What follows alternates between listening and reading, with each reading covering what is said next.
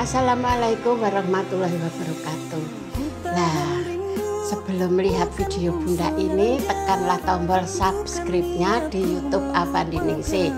Kalau lihat di YouTube, kalau lihat di status juga ada, tekan saja tombol subscribe-nya ya dengan loncengnya. Ada lonceng gambar lonceng kecil itu.